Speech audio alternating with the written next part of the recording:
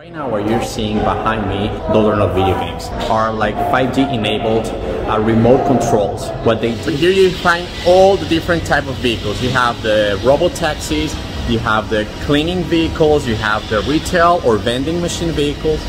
All of them are here. Baidu is a really open-minded and young company and we really believe we have the power to make your life easier and make the world better.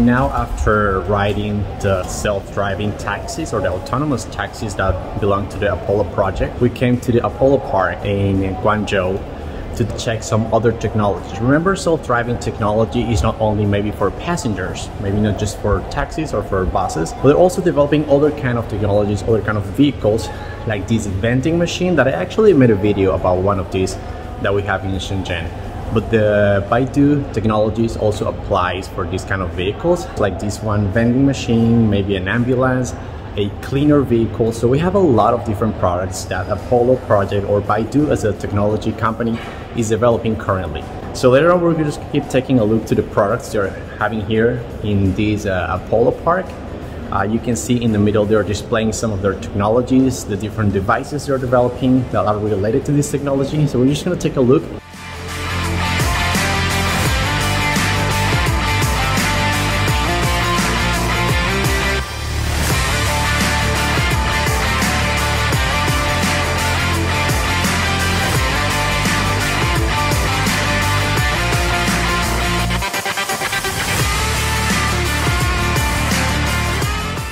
right now what you're seeing behind me, it's uh, these devices that look like a video game console. Those are not video games. Actually, they have a few of them here. And these uh, machines or these equipments are like 5G enabled uh, remote controls. What they do is they can control the actual vehicle or the actual car that are on the street uh, in a remote way. So from here, you can see they have those big screens uh, they have a steering wheel, uh, they have all the controls and the information that the actual car will have. So if in case of some emergency they need to remove the safety driver, they can take the control from these uh, devices or these machines from here and they can drive and park and move the car from one place to the other from the distance from here. So right now we have these drivers that are getting trained for the future when uh, actually the technology is massively applied on the streets they can do that in a case of emergency. No safety driver will be needed in the car, but they can just double check the operations from here. And actually, in case of an emergency, they can just remove and move the car from one place to the other. That is super cool. I just came to this room and I saw all these devices. Oh, cool, we'll have some video games for practice, but these are actually not video games. These are uh, real uh, situations, uh, cars, uh, or machines that can control the autonomous driving vehicle.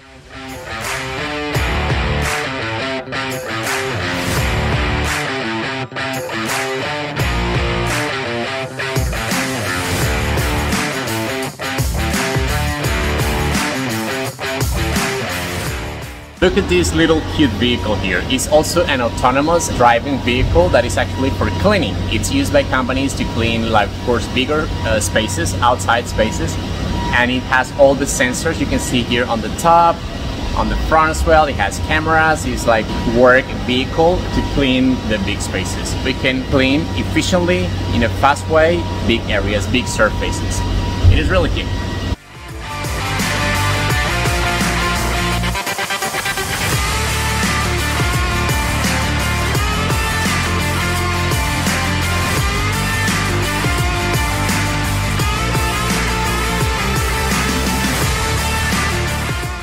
Right now we are with what it looks like a massive parking lot for all the vehicles that Baidu is using for their self-driving technology. Now you can see all type of vehicles are in this area here.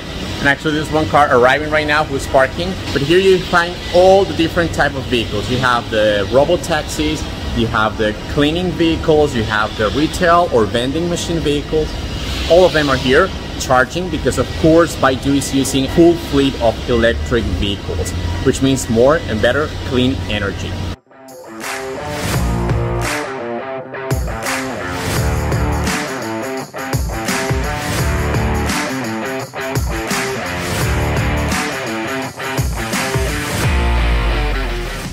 Vehicles that Baidu is using for their testing and their self-driving technology belongs to a Chinese company called Hongqi, which means uh, red flag, like this one we have here and the taxis we used this morning.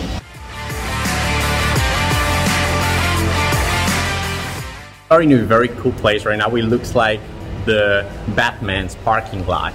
Actually, this is a place where they bring the, their self-driving cars to calibrate because of course all the sensors need to be calibrated against walls, obstacles and distances.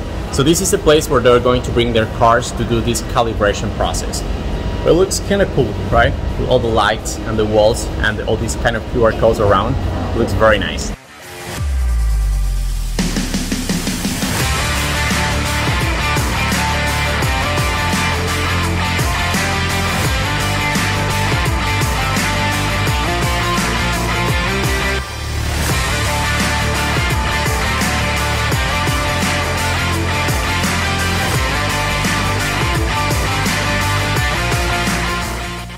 And I was flying my drone outside and then Ju is here. Hello Ju. Hi. So what, what is this place about? Like it looks very interesting. Uh, this place is called Apollo Park, where we show our most advanced technology. Uh, now in Baidu, we do things uh, to improve transportation. Like drive in Guangzhou, sometimes you feel like there's no traffic. That's Mm-hmm. because we do a lot of things for government to improve the traffic condition.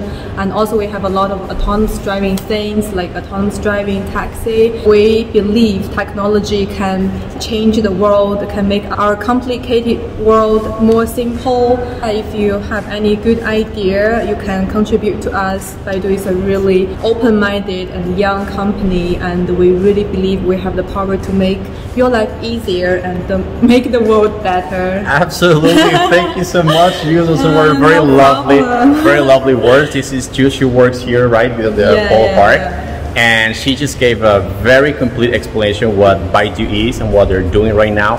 And this is kind of what I've been telling you guys on my mm-hmm. channel about the technology that is being developed here in China by Baidu specifically. I've tried many devices from Baidu, like the Xiaodu that I have at home, Oh. and it's super helpful. And even like Baidu Maps, Baidu Translate, I have them all on my phone. Yeah. I use them every day. And hopefully, hopefully in the future, I will be able to use the Apollo Go in Shenzhen to take a taxi to go to work Please. every day. So hopefully soon, right, Ju? Yeah, Thank you so much for your words and for your time and your kind explanation about Baidu. See you next time then. of course. See you.